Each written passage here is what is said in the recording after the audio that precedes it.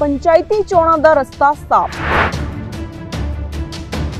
High court ਨੇ ਖਾਰਜ ਕੀਤੀਆਂ ਸਾਰੀਆਂ ਪਟੀਸ਼ਨਾਂ। ਹੁਣ ਮਿੱਥੇ ਹੋਏ ਸਮੇਂ ਹੀ ਹੋਣਗੀਆਂ ਚੋਣਾਂ।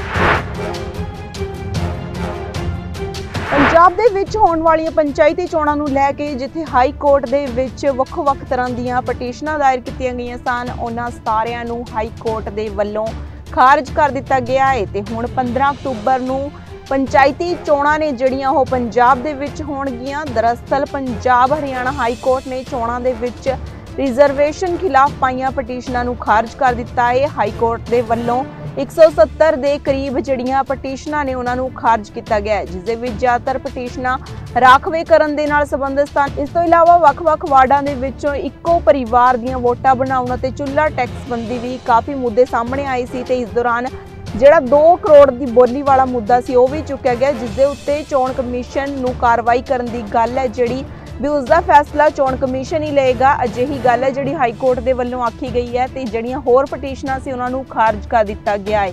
ਕਿਉਂਕਿ ਕਿਹਾ ਜਾ ਰਿਹਾ ਸੀ ਕਿ ਤਿਉਹਾਰ ਨੇ ਉਹਨਾਂ ਦੇ ਕਰਕੇ ਜਿਹੜੀਆਂ ਚੋਣਾਂ ਨੇ ਉਹਨਾਂ ਦਾ ਸਮਾਂ ਸਹੀ ਨਹੀਂ ਤੈਅ ਕੀਤਾ ਗਿਆ। ਸਮਾਂ ਗਲਤ ਹੈ। ਕਈ ਤਰ੍ਹਾਂ ਦੀਆਂ ਪਟੀਸ਼ਨਾਂ ਇਸ ਦੇ ਨਾਲ ਹੋਰ ਪਾਈਆਂ ਗਈਆਂ ਸੀ, ਪਰ ਇਹਨਾਂ ਸਾਰੀਆਂ ਪਟੀਸ਼ਨਾਂ ਦੇ ਉੱਤੇ ਜਿਹੜਾ ਹਾਈ ਕੋਰਟ ਹੈ ਹਾਈ ਕੋਰਟ ਦੇ ਵੱਲੋਂ ਇਹਨਾਂ ਸਾਰੀਆਂ ਪਟੀਸ਼ਨਾਂ ਦੇ ਉੱਤੇ ਜਿਹੜੀ ਕਾਰਵਾਈ ਕੀਤੀ ਗਈ ਤੇ ਇਸ ਦੌਰਾਨ ਇਹਨਾਂ ਨੂੰ ਖਾਰਜ ਕਰ ਦਿੱਤਾ ਗਿਆ ਹੈ। ਤੇ ਹੁਣ ਪੰਜਾਬ ਦੇ ਵਿੱਚ ਜਿਹੜਾ ਮਿੱਥਿਆ ਹੋਇਆ ਸਮਾਂ ਸੀ, ਯਾਨੀ ਕਿ 15 ਅਕਤੂਬਰ ਨੂੰ ਹੀ ਪੰਜਾਬ ਦੇ ਵਿੱਚ ਪੰਚਾਇਤੀ ਚੋਣਾਂ ਹੋਣਗੀਆਂ ਤੇ ਹੁਣ ਕਹਿ ਸਕਦੇ ਕਿ ਪੰਚਾਇਤੀ ਚੋਣਾਂ ਨੂੰ ਲੈ ਕੇ ਜਿਹੜਾ ਮੁੜ ਰਸਤਾ ਹੈ ਉਹ ਸਾਫ਼ ਹੋ ਗਿਆ ਹੈ। ਹਾਲਾਂਕਿ ਕਾਫੀ ਰੁਕਾਵਟਾਂ ਲਿਆਉਣ ਦੀ ਕੋਸ਼ਿਸ਼ ਕੀਤੀ ਗਈ, ਪਰ ਦੁਬਾਰਾ ਜਿਹੜੀਆਂ ਹਾਈ ਕੋਰਟ ਦੇ ਵੱਲੋਂ ਆਦੇਸ਼ ਆਏ ਨੇ ਕਿ 15 ਅਕਤੂਬਰ ਨੂੰ ਹੀ ਪੰਚਾਇਤੀ ਚੋਣਾਂ ਹੋਣਗੀਆਂ।